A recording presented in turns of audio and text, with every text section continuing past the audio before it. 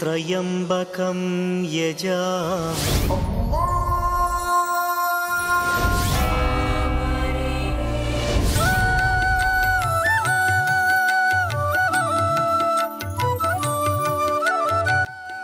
வணக்கம் வேந்தரின் ஆன்மீக நிகழ்வுகள் இறை செய்திகளின் தொகுப்புக்காக சஞ்சனா முதன்மை நிகழ்வுகள் உலகம் முழுவதும் கிறிஸ்துமஸ் பண்டிகை கோலாகல கொண்டாட்டம். தேவாலயங்களில் சிறப்பு வழிபாடு.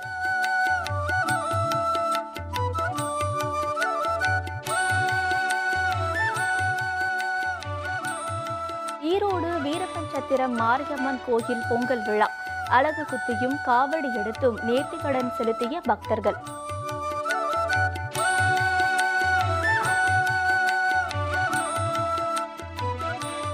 மதுரையில் ஐயப்ப சுவாமிக்கு மண்டல பூஜை. சிறப்பு வழிபாட்டில் திரளான பக்தர்கள் கலந்து கொண்டு சுவாமி தரிசனம்.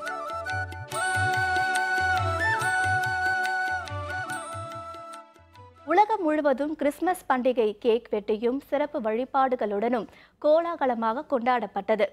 இயேசு பிரான் பிறந்த தினமான கிறிஸ்துமஸ் பண்டிகை நாடு முழுவதும் இன்று கோலாகலமாக கொண்டாடப்பட்டது.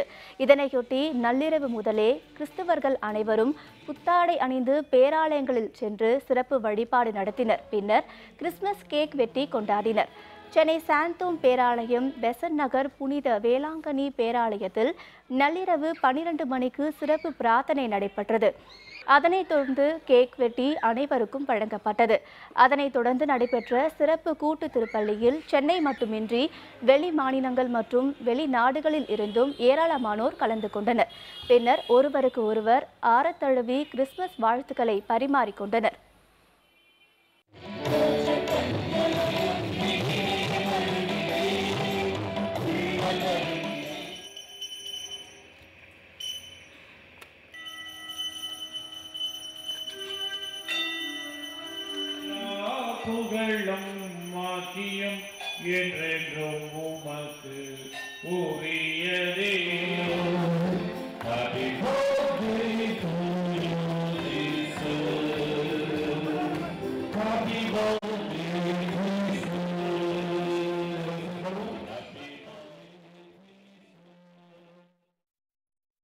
இந்த ஒரு ஸ்பெஷல் சர்ச்சு ஸ்பெஷல் டேயில் பார்க்கணுன்னு சொல்லிட்டு எங்களுக்கு ரொம்ப நாள் ஆசையாக இருந்துச்சு.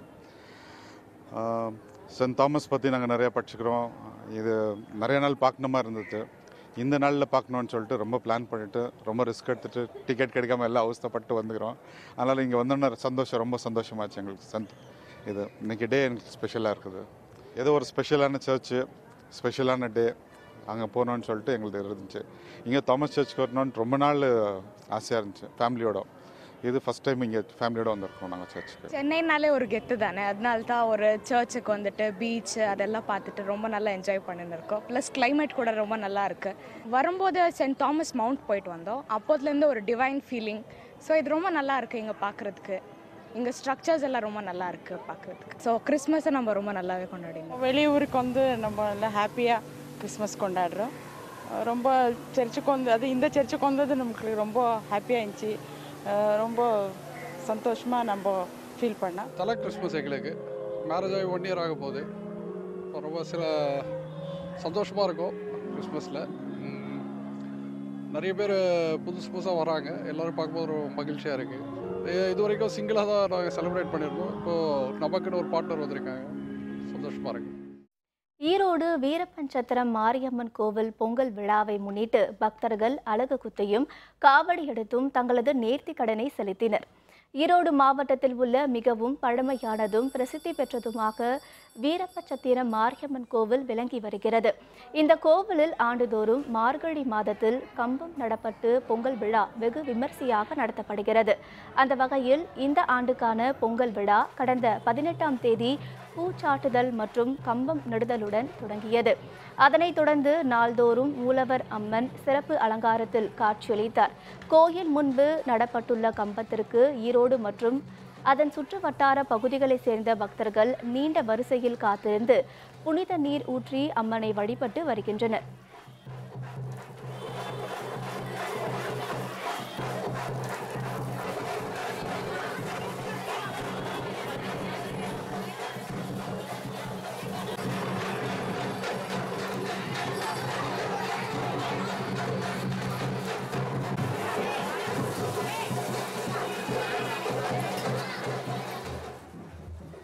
திருவிழாவை முன்னிட்டு காப்பு கட்டி விரதம் இருக்கும் பக்தர்கள் காவிரி ஆற்றிலிருந்து தீர்த்த குடம் எடுத்து வந்தும் அக்னி சட்டி ஏந்தியும் அம்மனுக்கு நேர்த்திக்கடன் செலுத்தினர். பக்தர்கள் சிலர் தங்களது உடலில் அலகு குத்தி வாத்திய இசைக்கு ஏற்றவாறு நடனமாடியபடியும் பறவை காவடியில் பறந்தபடியும் கோவிலுக்கு வந்து அம்மனை தரிசித்தனர்.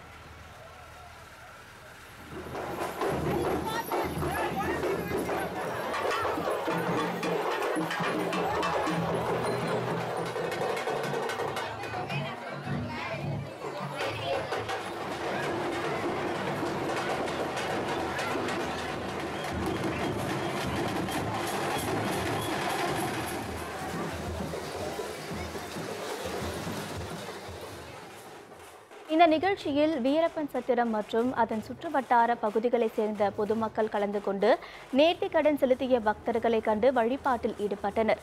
இதனையடுத்து முக்கிய நிகழ்வான மாவிளக்கு படைத்து அம்மன் வழிபாடும் பொங்கல் விழாவும் நாளை நடைபெறுகிறது. மதுரையில் ஐயப்ப சுவாமிக்கு நடத்தப்பட்ட மண்டல பூஜை மற்றும் சிறப்பு அபிஷேகத்தில் ஏராளமான பக்தர்கள் கலந்து கொண்டு சுவாமி தரிசனம் செய்தனர். மதுரை சொக்கநாதபுரம் செல்லையா காலனி பகுதியில் ஓடை கருப்பண்ண சுவாமி கோயில் அமைந்துள்ளது. இந்த கோயிலில் எழுந்தருளி இருக்கும் ஐயப்ப சுவாமிக்கு ஆண்டுதோறும் மண்டல பூஜை மற்றும் சிறப்பு அபிஷேகம் நடத்தப்பட்டு வருகிறது. அந்த வகையில் இருபத்தி நான்காம் ஆண்டு மண்டல பூஜை மற்றும் சிறப்பு அபிஷேகம் வெகு சிறப்பாக நடைபெற்றது.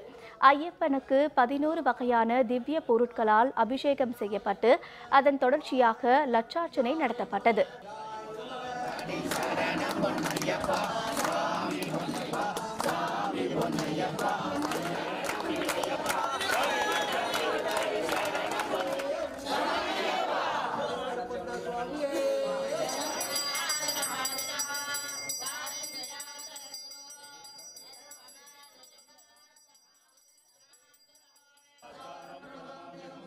இறுதியாக நிகழ்ச்சியில் கலந்து கொண்ட பக்தர்களுக்கு அன்னதானம் வழங்கப்பட்டன.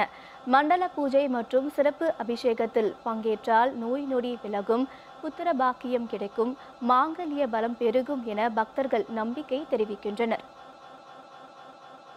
இருபத்தி நான்கு வருடங்களாக லட்சார்ச்சனை மற்றும் மண்டல பூஜையை சீரும் சிறப்புமாக நடைபெற்று கொண்டு வரும் இந்த வருடம் இன்றைய தினம் ஐயப்ப மண்டல பூஜை சீரும் சிறப்புமாக நடந்து கொண்டிருக்கிறது. இந்த ஐயப்ப சுவாமியின் பிரசாதத்தை பெற்று பக்த கோடையில் அனைவரும் அனைத்து செல்வங்களும் பெற்று வளமுடன் வாழ வேண்டி அரிகரபுத்திர ஐயப்ப சுவாமியை நாம் அனைவரும் சேர்ந்து மீண்டும் பிரார்த்தனை செய்வோமாக. இன்றைய தினம் மண்டல பூஜை லட்சார்ச்சனை நடைபெற்றுக் கொண்டிருக்கின்றது. வருடா வருடம் டிசம்பர் மாதம் இருபத்தி ஐந்தாம் தேதி ஒவ்வொரு வருடமும் தொடர்ந்து இந்த ஆலயத்தில் அமைந்திருக்கும் ஸ்ரீ ஐயப்ப சுவாமிக்கு மண்டல பூஜையும் லட்சார்ச்சனையும் அன்றைய தினம் சிறப்பு வெள்ளி கவச அலங்காரத்தில் சுவாமி எல்லாருக்கும் அருள்பாலித்துக் கொண்டிருக்கின்றார். இன்றைய அஹ், அனைத்து மக்களும் மிகவும் நலமும் வளமும் பெற வேண்டும் என்று லட்சார்ச்சனையை வருடா வருடம் இந்த ஆலயத்தினுடைய நிர்வாகிகள் தொடர்ந்து நடந்து கொண்டு சீரும் சிறப்புமாக நடத்தி கொண்டிருக்கிறார்கள். புலி வாகனத்தில் வீதி உலா சென்ற ஐயப்பன். பக்தி பரவசத்துடன் வணங்கிய பக்தர்கள். விவரம் விளம்பர இடைவேளைக்கு பிறகு.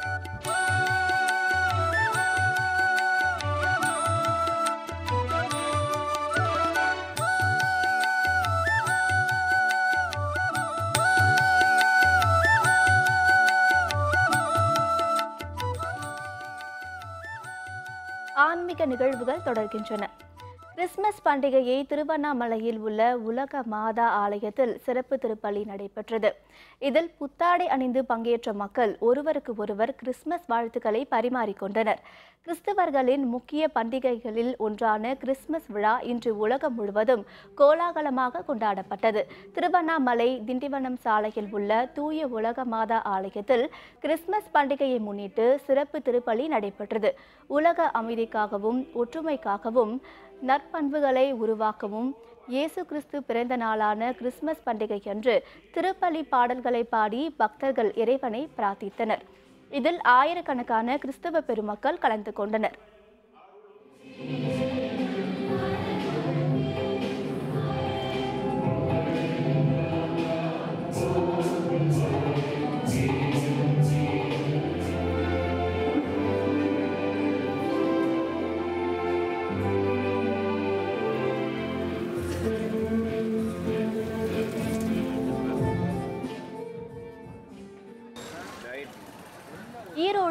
புனித அமல அன்னை ஆலயத்தில் நடைபெற்ற சிறப்பு திருப்பலி மற்றும் பிரார்த்தனையில் ஈடோல் மற்றும் அதன் சுற்றுவட்டார பகுதிகளைச் சேர்ந்த பொதுமக்கள் தங்கள் குடும்பத்துடன் கலந்து கொண்டு வழிபாட்டில் ஈடுபட்டனர்.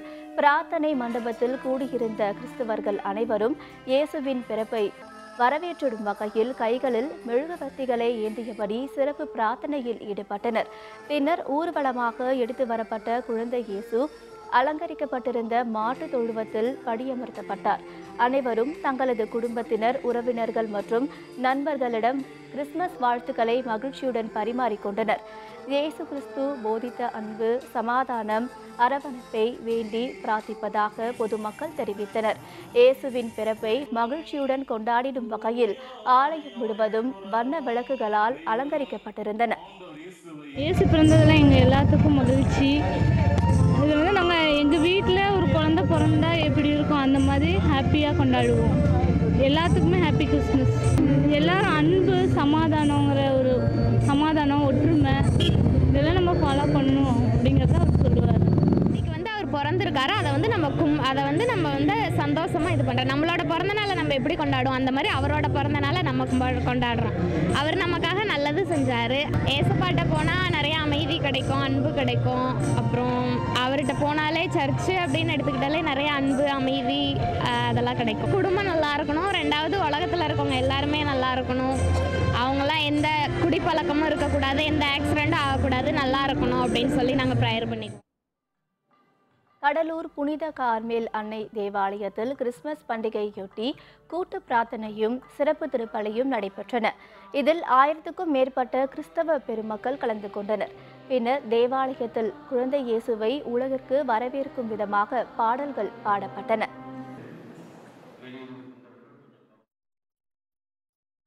ஐயப்ப சேவா சங்க ஆண்டு விழாவையொட்டி கரூர் அருள்மிகு பசுபதீஸ்வரர் கோயிலில் எழுந்தருளியிருக்கும் சுவாமி ஐயப்பன் புலி வாகனத்தில் வீதி உலா சென்று பக்தர்களுக்கு அருள் பாலித்தார் கரூர் ஸ்ரீ பசுபதீஸ்வரர் ஐயப்ப சேவா சங்கத்தின் முப்பத்தி இரண்டாம் ஆண்டு விழா வெகு சிறப்பாக நடைபெற்றது. இதனையொட்டி உலகத்தில் வாழும் அனைவருக்கும் சகல ஐஸ்வர்யங்கள் கிடைக்க வேண்டியும் குழந்தை பேறு குடும்ப நிம்மதி போன்றவைகளை முன்வைத்தும் ஸ்ரீ சந்தான கோபால கிருஷ்ணா ஹோமம் நடத்தப்பட்டது.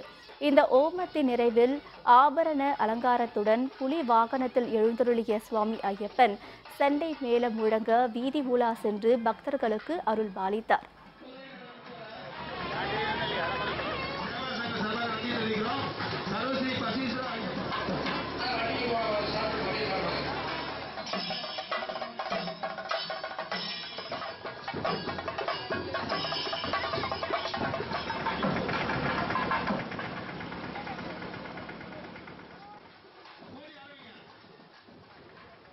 விழாவையொட்டி பல்வேறு மாவட்டங்களில் இருந்து வருகை தந்த திருநங்கைகள் சிவன் பார்வதி கிருஷ்ணன் லக்ஷ்மி ஆண்டாள் மாரியம்மன் காளி போன்ற சுவாமி வேடங்களை அணிந்து சிவதாண்டவ நடனம் ஆடினர். இதேபோல் ஆண்களும் கருப்பசாமி அய்யனாரப்பன் சுவாமிகளின் வேடமடைந்து பக்தர்களை பரவசப்படுத்தினர். இந்த நிகழ்ச்சியில் தமிழகம் மட்டுமின்றி கர்நாடக மாநிலத்தை சேர்ந்த பக்தர்கள் ஏராளமானோர் கலந்து கொண்டு ஐயப்பனின் அருளை பெற்றனர். கரூர் ஸ்ரீ பசுபதீஸ்வர ஐயப்ப சேவா சங்கத்தின் முப்பத்தி இரண்டாவது ஆண்டு விழாவை முன்னிட்டு இன்று மூன்றாம் நாள் நிகழ்ச்சியாக காலையில் ஸ்ரீ சந்தான கோபாலகிருஷ்ண ஹோமம் நடைபெற்று பூர்ணாவதி எல்லாம் நடைபெற்று அன்னதானம் முடிந்து குடிவாகனத்திலே ஐயப்ப பகவான் வந்து கொண்டிருக்கிறார். சீதாராமர் லட்சுமணன் அனுமர் உட்பட அனைத்து வா- தெய்வங்களும் ஊர்வலமாக வந்து கொண்டிருக்கிறார்கள். இது முப்பத்தி இரண்டாவது ஆண்டு. ஒவ்வொரு ஆண்டும் சிறப்போடு நடைபெற்று வருகிறது. அனைத்து மக்களும் சுகம் பெற வேண்டும் மழை வளம் வேண்டும் மண் வளம் சிறக்க வேண்டும். எந்த மக்களுக்கும் பாதிப்பு இருக்காது என்ற வகையிலே இருக்கக்கூடாது என்ற வகையிலே இந்த ஹோமங்கள் எல்லாம் முப்பத்தி இரண்டாம் ஆண்டு ஐயப்பா சேவா சங்கத்தினுடைய விழாவாக கரூர் மாவட்டத்திலேயே மிகப்பெரிய விழாவாக ஒவ்வொரு ஆண்டும் கொண்டாடி கொண்டிருக்கிறோம். மதுரை அருள்மிகு மீனாட்சி சுந்தரேஸ்வர திருக்கோவிலில் நடைபெற்ற ஆருத்ரா தரிசன பூஜையை தொடர்ந்து நான்கு மாசி வீதிகளில் வலம் வந்த சுவாமியை பக்தர்கள் தரிசித்தனர். சொக்கநாத பெருமாள் அறுபத்தி நான்கு திருவிளையாடல்கள் புரிந்த புண்ணிய ஸ்தலமாக மதுரை மீனாட்சி சுந்தரேஸ்வரர் திருக்கோவில் விளங்குகிறது. இத்தகைய சிறப்பு பெற்ற இந்த கோயிலில் மார்கழி மாத திருவாதிரை தினத்தை முன்னிட்டு ஆருத்ரா தரிசன பூஜை நடைபெற்றது. அதனைத் தொடர்ந்து நடராஜர் சிவகாமி அம்மன் மற்றும் மாணிக்க வாசகர் ஆகியோர் ஆறு கால் பீடத்திலும் பின்னர் நூறு கால் மண்டபத்திலும் எழுந்தருளினர். அப்போது சுவாமிகளுக்கு அபிஷேக ஆராதனைகள் நடத்தப்பட்டது. அதனைத் தொடர்ந்து உற்சவர் நடராஜர் சிவகாமி அம்மனுடன் நான்கு மாசி வீதிகளில் திருவீதி உலா சென்று பக்தர்களுக்கு அருள்பாலித்தார்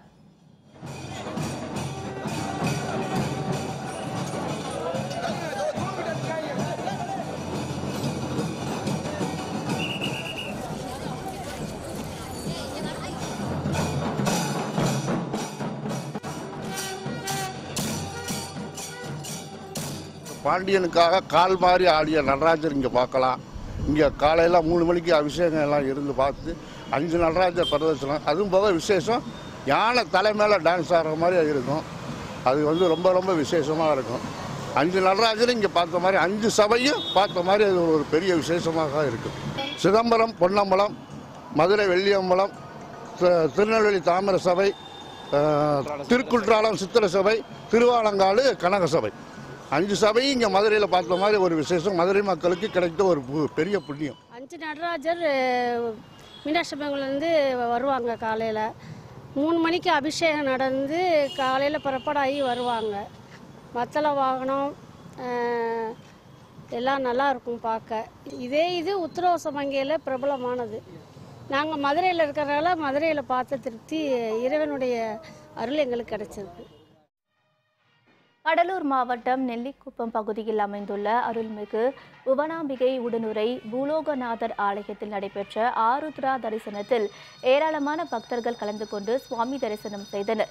முன்னதாக நடராஜ பெருமானுக்கு பால் தயிர் சந்தனம் உள்ளிட்ட திரவியங்களால் அபிஷேக ஆராதனைகள் நடத்தப்பட்டு மகா தீபாரதனை காண்பிக்கப்பட்டது. பின்னர் நடராஜர் சிவகாம சுந்தரி சமேதராய் நடனமாடியபடி கோவிலை சுற்றி வலம் வந்தனர்.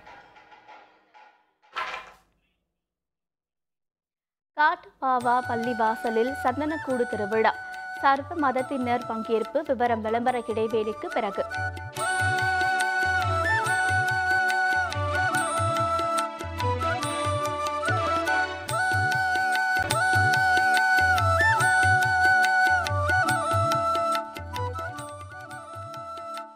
ஆன்மீக நிகழ்வுகள் தொடர்கின்றன. சிவபெருமானின் ஆடல் பெற்ற ஸ்தலமான சிவகங்கை மாவட்டம் திருப்பத்தூரில் உள்ள திருத்தலிநாதர் ஆலயத்தில் ஆருத்ரா தரிசனத்தை முன்னிட்டு ஏராளமான பக்தர்கள் சுவாமியை தரிசித்து சிறப்பு வழிபாடு செய்தனர். இதனையொட்டி நடராஜருக்கு சிறப்பு அலங்காரம் செய்யப்பட்டு பூஜைகள் நடத்தப்பட்டது. சிவகங்கை மாவட்டம் திருப்பத்தூர் அருகே உள்ள காட்டுப்பாவா பள்ளிவாசலில் சந்தனக்கூடு திருவிழா வெகு விமரிசையாக நடைபெற்றது. சிவகங்கை மாவட்டம் திருப்பத்தூர் அடுத்த திருமயம் அருகே காட்டுப்பாவா பள்ளிவாசல் அமைந்துள்ளது. இந்த பள்ளிவாசலில் உருஸ் எனப்படும் சந்தனக்கூடு திருவிழா கடந்த எட்டாம் தேதி கொடியேற்றத்துடன் தொடங்கியது. நாள்தோறும் பல்வேறு வழிபாடுகளுக்கு பின் முக்கிய நிகழ்வான சந்தன பேழையை தலையில் சுமந்து செல்லும் நிகழ்ச்சி நடைபெற்றது. நல்லூர் கிராமத்திற்கு சந்தன பேழையை எடுத்து சென்ற இஸ்லாமியர்கள் அங்கு இந்துக்கள் வீட்டில் செய்யப்பட்ட உணவினை உண்டு. பின்னர் மீண்டும் பள்ளிவாசலுக்கு கொண்டு வந்தனர். அப்போது மலர் தூவி சந்தனப்பள்ளிக்கு வரவேற்பு அளிக்கப்பட்டது. பின்னர் சிறப்பு பிரார்த்தனைகளுடன் சந்தனம் பூசும் நிகழ்ச்சி நடைபெற்றது. முன்னதாக சந்தனக்கூடு பள்ளிவாசலில் இருந்து புறப்படும் போது அதற்கு முன்பாக இந்து மதத்தை சேர்ந்த மக்கள் தேர்பவனி நடத்தினர். நிகழ்ச்சியில் தமிழக அரசின் தலைமை ஹாஜி சலாஹிதீன் கலந்து கொண்டு உலக மக்கள் ஒற்றுமை மற்றும் அமைதிக்காக சிறப்பு பிரார்த்தனை செய்தார். தேசிய ஒற்றுமையை பறைசாற்றும் வகையில் நடைபெற்ற இந்த நிகழ்ச்சியில் தமிழகம் மட்டுமின்றி கர்நாடகா கேரளா போன்ற மாநிலங்களைச் சேர்ந்த சர்வ மதத்தினர் கலந்து கொண்டனர். இத்துடன் இன்றைய வேந்தரின் ஆன்மீக நிகழ்வுகள் இறை செய்திகளின் தொகுப்பு நிறைவு பெறுகிறது. மீண்டும் நாளை மாலை ஐந்து முப்பது மணிக்கு சந்திப்போம். வணக்கம்.